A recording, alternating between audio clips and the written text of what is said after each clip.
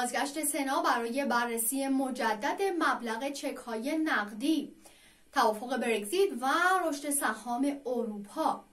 جنب و جوش در قیمت های نفت رکورد شکنی های آسیایی ها رشد کیوی و رکورد شکنی برعکس ریپل.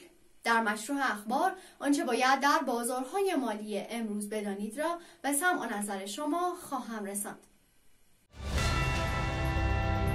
با عرض سلام و شب خیر فریبا هستم از شبکه خبری پرسکیلز امروز شنبه 29 دسامبر 2020 برابر با 9 دی ماه 1399 با اخبار اقتصادی در خدمت شما هستم. مشروع اخبار.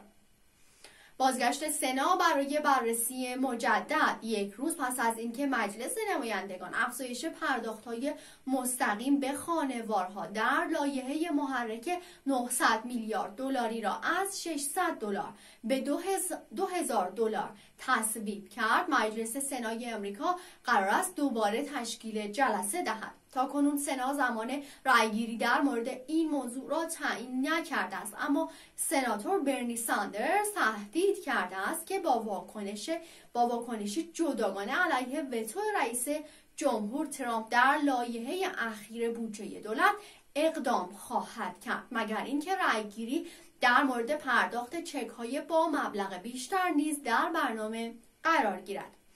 برخی از جمهوری خواهان سنا از افزایش پرداخت ها حمایت کردند. زیرا بیم آن را دارند که هزینه امتناع از این کار از دست دادن انتخابات دور دوم در جورجیا برای حزب باشد که در پنجم ژانویه برگزار خواهد شد. این آرا کنترل سنا را برای دو سال آینده تعیین می کند بازده اوراق قرضه خزانه داری ده ساله ایالات متحده در 94 صدم درصد ثابت ماند در حالی که شاخص دلار که ارزش دلار ایالات متحده در برابر سبد ارزی اقتصادهای پیشرفته را بررسی می کند چهار دهم درصد کاهش یافت و به 89 ممیز 96 رسید و با ثبت ضعیفترین عملکرد در بین ارزهای مهم دوباره به کمترین سطح خود در 32 ماه گذشته نزدیک شد. امروز همچنین کیوی دلار نیوزیلند با 9 دهم درصد رشد بهترین عملکرد روز را ثبت کرد. امروز به دنبال اخبار مربوط به بسته حمایتی و بعد از ثبت رکوردهای جدید در روز گذشته روز نسبتا خوبی در بازار سهام رقم خورد. شاخص های S&P و داو جونز یک دهم درصد رشد داشتند اما نزدک سه دهم درصد کاهش داشت. طلا هم متاثر از این اخبار رشد یک دهم درصدی را به سمت رسانیده است اما همچنان در محدوده باری معاملاتی در 1880 دلار قرار دارد.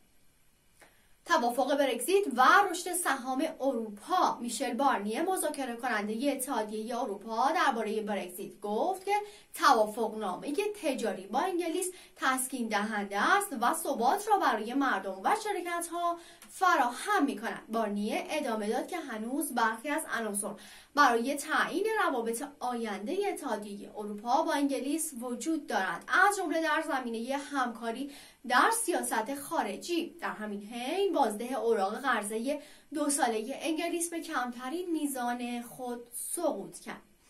سهام انگلیس با رشد مجدد بازار لندن برای اولین بار از زمان توافق بریتانیا و اتحادیه اروپا بر سر توافق تجارت آزاد درست قبل از تعطیلات کریسمس افزایش یافت. گزارشات مبنی بر اینکه وزارت بهداشت انگلیس ممکن است واکسن کووید 19 را که توسط شرکت آسترازنکا و دانشگاه آکسفورد تولید شده است به لیست واکسن های مورد استفاده. اضافه کنند نیز به احساسات مثبت بازارها افزود. این تصویب در زمانی صورت می‌گیرد که ویروس با سرعت بیشتری در انگلیس در حال شیوع است و همین امر باعث گمان زنی در رسانه های محلی مبنی بر این شده است که دولت برای کنترل آن باید سطح جدید و حتی شدیدتری از اقدامات محدودیتی را تدوین کند. در دیگر جاها انجمن تجاری بی جی ای آلمان روز سهشنبه اعلام کرد که انتظار می رود صادرات امسال حداقل 12 درصد کاهش یابد زیرا تقاضا از ایالات متحده و انگلیس به دلیل همهگیری ویروس کرونا کاهش یافته است. بازار سهام اروپا مخصوصا انگلیس با رشد خوبی همراه شده است. این در حالی است که UK صد نزدیک به دو درصد رشد داشته و بهترین عملکرد چند هفته اخیر را نشان می‌دهد. شاخص ستاکس 600 هم رشدی 8 دهم درصدی دارد و CAC 40 فرانسه نیز نیم درصد رشد داشته اما داکس آلمان یک دهم درصد کاهش را ثبت کرد. رکورد شکنی آسیایی ها گروه صنعتی سیچوان یاهوا در چین روز سهشنبه اعلام کرد که توافق نامه ای را برای تهیه هیدروکسید لیتیوم برای تولید کننده باتری خودروهای الکتریکی تسلا برای پنج سال آینده امضا کرده است. امروز سهام ژاپن به بالاترین سطح سی ساله و شاخص فناوری کره جنوبی کاسداک به رکورد جدیدی رسید که عمدتا در واکنش به رکورد شکنی روز دوشنبه سهام ایالات متحده بود. در بازارهای آسیا نیکی 225 ژاپن دو ممیز 7 دهم درصد افزایش داشت و هنگ سنگ یک درصد. اما شانگهای با نیم درصد کاهش روز را به پایان رسانید. تلافی روسیه روسیه روز سهشنبه اعلام کرد که در واکنش به تحریم های اعمال شده.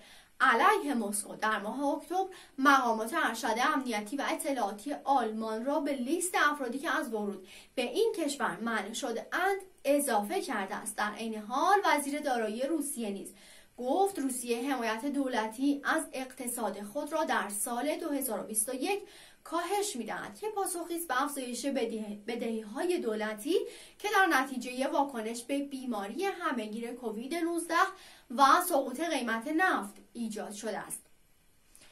جنب و جوش در قیمت های نفتی قیمت نفت خام در مقابل داده های کمیسیون معاملات آتی کالاها که نشان از افزایش گسترده ای در position های خرید طولانی.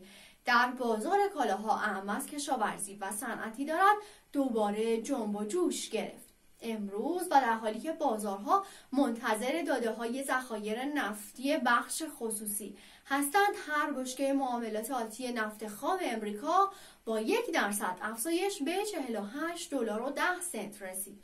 در حالی که شاخص بین المللی برنت نیز با همین میزان افزایش در 51 دلار و 43 سنت در هر بشکه معامله شد.